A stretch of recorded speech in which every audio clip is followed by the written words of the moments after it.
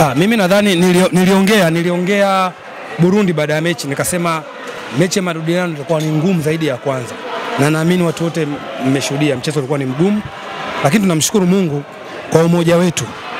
Leo watu wamepambana nje ya uwanja na ndani ya uwanja. Nchi kama nchi imeweza kwenda kwenye hatua ya makundi. Naamini kila Mtanzania ndio alikuwa ndicho alichokuwa nakitaka. Kwa hiyo tupongezane, tupeane hongera watu wote, kwa sababu timu ni ya kwetu na nchi ni ya kwetu, na wote tumeipigania nchi yetu. Nadhani kwanza tupongezane, kwa sababu kazi ya kipa ni ya kuziwia, alafu kazi ya wachezaji ni kufunga. Kwa hiyo tunajipongeza timu kama timu, kwa sababu wao wamefunga, mimi nimeziwia, pia na mashabiki wameshangilia.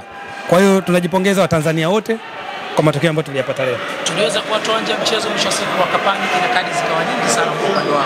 Unadhani ilikuwa tactics sahihi sana na tunaweza tuitumie kwenye mchezo ujao? Mimi nadhani mwalimu ni mpya, muda ni mdogo, kwa hiyo apewe muda.